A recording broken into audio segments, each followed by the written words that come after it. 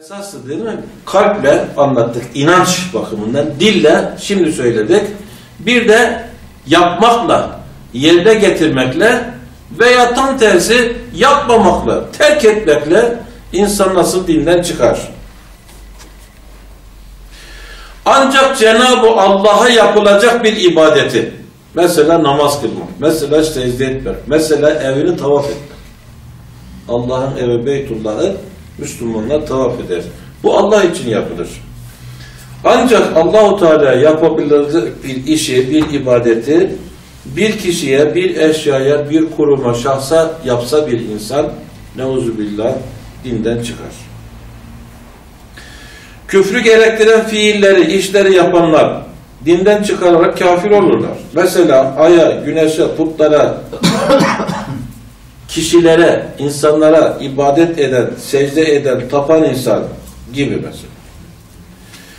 Yukarıdan beri anlattığımız dinin bazı emirleri var. Zarurat-ı diniye diyoruz. Mesela namaz, oruç, zekat Allah'ın bir emridir. Bunları bir insan alay konu ederse, bunları inkar ederse veya ömür boyu inatla bunları terk ederse, inatla, ömür boyu hiç yapmayarak dinden çıkar. Mesela Kur'an-ı Kerim, hadisi kutsi veya diğer hadisi şerifleri tutup hakaretle fırlatsa bu bir fiildir. Fiil. Kur'an-ı Kerim tutuyor Allah'ın kitabı hürmet edecek yerde hakaret ediyor. Çıkıyor üstüne çiğniyor. Hadis olduğunu bile bile bazı sözlerin hadisi kutsi çıkıyor, çiğniyor, hakaret ediyor, pis yerlere atıyor ya da yakıyor. Hakaret olsun diye. Bu kitabı göstererek bunun çağı geçti diyor.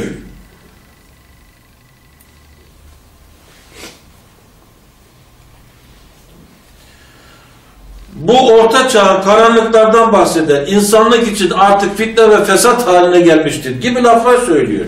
Kim için? Kur'an-ı Kerim için ya da Kur'an-ı Kerim'in bahsettiği Allah'ın dini için.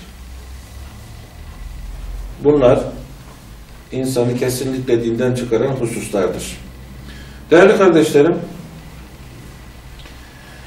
biz bu bilgileri İnanç Dağılma kitabımızın içerisine alırken çok değişik kitaplardan topladık aldık. Herkesin evinde veya da kütüphanelerinde çok rahat bulacağı bir kitabı size haber vereyim. Hepimizin bildiği Ömer Nasuh'u bilmen hocamız rahmetullahi aleyhin Hukuk-u İslamiye ve Istılat-ı Fıkhiye Kamusu diye bilinen o malum ve muhallet şah eseri, o muazzam eserin dördüncü cildinin 7. sayfasından itibaren hemen başında bu konuları arzu ederseniz evde çıkar, yeniden bakabilir, daha geniş işleyebilir, görebilirsiniz. Küfre rıza gösteren kafirlerin yukarıda örnek verilen davranışlarını sevinç ve takdirle bir insan karşılasar. Yukarıda örnek derken ta başında belli saydığımız Allah'ı, dini, kitabı, şeriatı, inkar, sövme, alay, hakaret ya da Kur'an'ı fırlatma, çiğneme, yapma ya da bunun çağı geçmiştir gibi yukarıda belli sayılanları birisi sayarken bu da tasdik etse onu.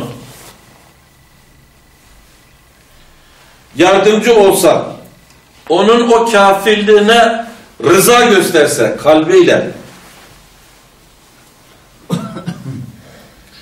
bundan sevinç duysa ve takdir etse dedik. Onlara saygıda bulunsa, maddi manevi arkasında destekçi olsa, o da dinden çıkar. Yapan gibi.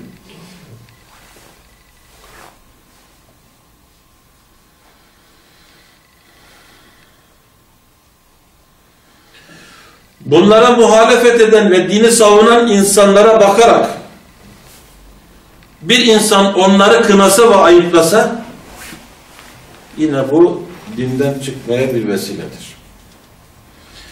Kafirlerle beraber olarak Müslümanlarla savaşırsa bile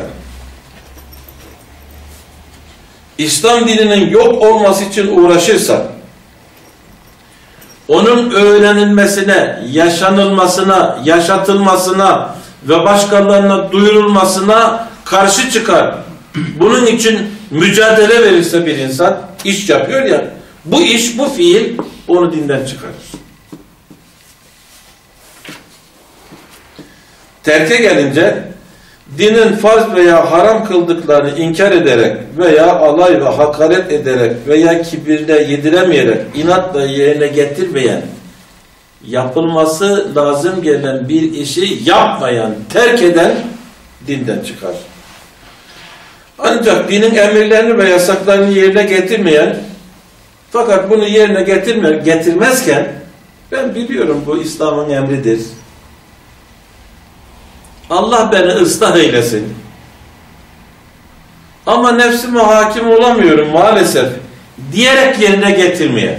Mesela namazını kılmayan. içki içmek haram olduğu halde maalesef diyerek bunun bir emir olduğuna iman ederek içki içen dinden çıkmaz. Günahkar olur.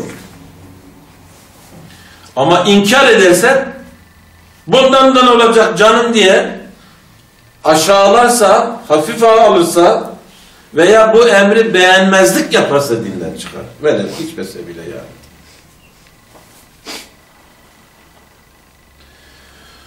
Ancak alimlerimiz, ben birkaç defa tekrar ettim, yine bir kere daha söyleyeyim. Bir insan ömür boyu ömründe Allah'ın bir emrinde ya da yasağını inadına yapmazsa, mesela bir adam hiç namaz kılmaz. Hiç kimse onu camide görmemiş. Veya öğlene kadar içki içmeye devam ediyor. Bu ısrar, inat ve kibre yorularak insanın imanını götüreceğine dair akaid kitaplarımızda açık bilgiler vardır. Hanefilerin dışında diğer mezheplerde tembellik ederek namaz kılmayanın, oruç tutmayanın, zekat vermeyenin öldürüleceğine dair rivayetler var. Bunların içerisinden sadece Hanbeli mezhebi gavur olarak öldürülür diyor. Diğerleri en temel ibadetler olan bunları yerine getirmeyenler öldürülür ama Müslüman olarak öldükleri için cenazeleri yıkanır, kefenlenir, Müslüman nazını gömülür diyor. Bizim mezhebimiz öldürülmezler ama hapse atılır, terbiye edilirler deniliyor. Buradaki o terke dikkatinizi ayrıca çekeyim. Evet. Demek ki bir cümleyle özetleyecek olursak bir insanın dinden çıkması ya kalbiyle olur, ya diliyle söyleyerek olur, ya iş yaparak olur, ya da yapılması gerekeni terk ederek olur. Allah Celle Celaluhu dini, imanı iyi bilmeyi, hangi durumlarda insanın dinden çıkıp çıkmayacağı meselesini de iyi kavramayı nasibi müyesser eylesin. Çok önemli bir konudur. Ve bizi Müslüman olarak yaşatıp Müslüman olarak öldürsün inşallah.